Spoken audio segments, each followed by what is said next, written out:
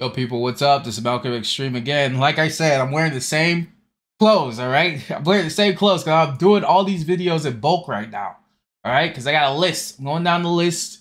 Don't think I'm just wearing the same shit. Even if I did wear the same shit, you know, it works for Charlie. He got the white tee on in every single video, so whatever. But yeah, I'm doing some more of that wholesome content, uh, reaction videos uh, today. And uh, this one's called Family Adopts Elderly Neighbor as Honorary Grandpa. So this should be heartwarming, a heartwarming story. I hope you guys enjoy. Call him just a neighbor. Paul Callahan is an honorary member of his family. The kids that grown up to like that's that's their grandfather. Oh, that's nice. That's really nice. No, yeah, it's it's good when people like actually get together and like form form a, a actual community and a family with each other. You know, sometimes it's it's hard you know, it's hard being like out there alone, especially with this guy. He's like a widower.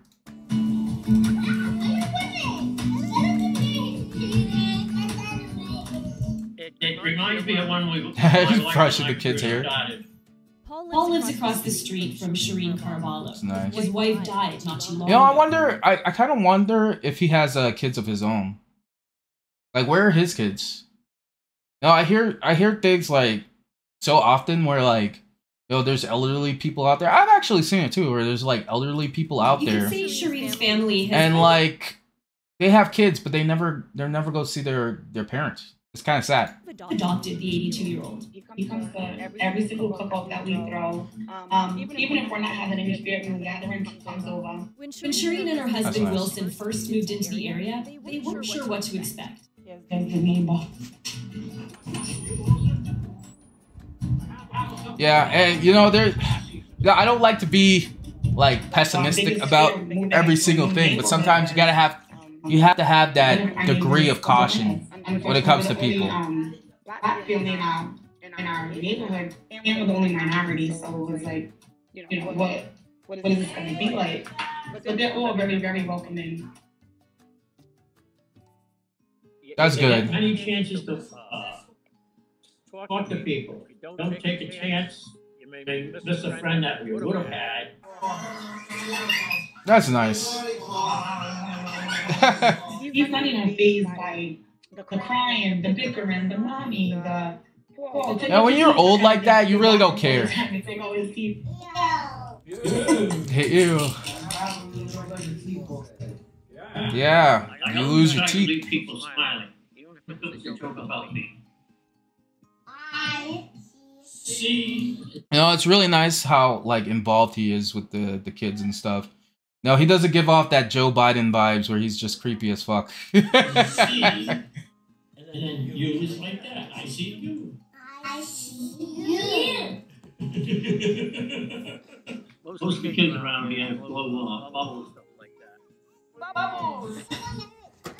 oh, If I get a chance, I'll go to the store and come up. Bring them back. Even when her kids try to return the favor by doing something nice for him, like making sure he crosses the street to get back home safely, well, he returns the favor. Boy, you walked him back across the street.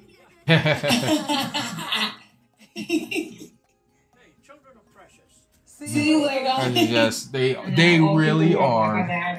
You know what I'm saying? Just to see the love that we both share between Paul and our family. I love that my children are able to witness that from such a young age.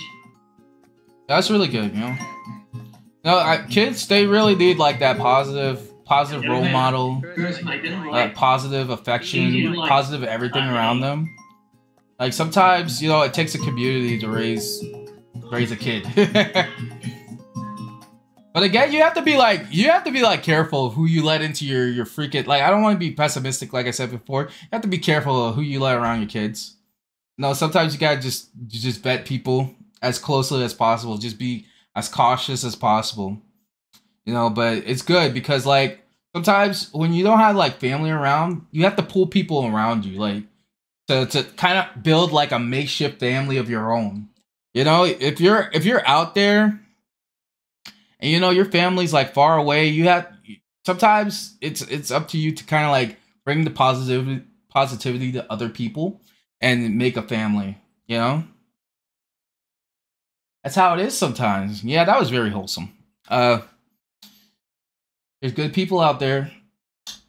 Like, subscribe, and I hope you guys enjoy these wholesome news stories.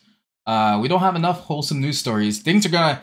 I, I'm gonna be doing wholesome content. I'm gonna be doing gaming trailer reactions. I'm gonna be doing, you know, other reactions. I probably would not be touching music, but as far as these video go, uh, these videos go, I hope you guys enjoy. Subscribe, like the video, uh, comment in the comment section about your uh, makeshift family or just being a part of the lives of other people. And uh, I'll see you guys next time.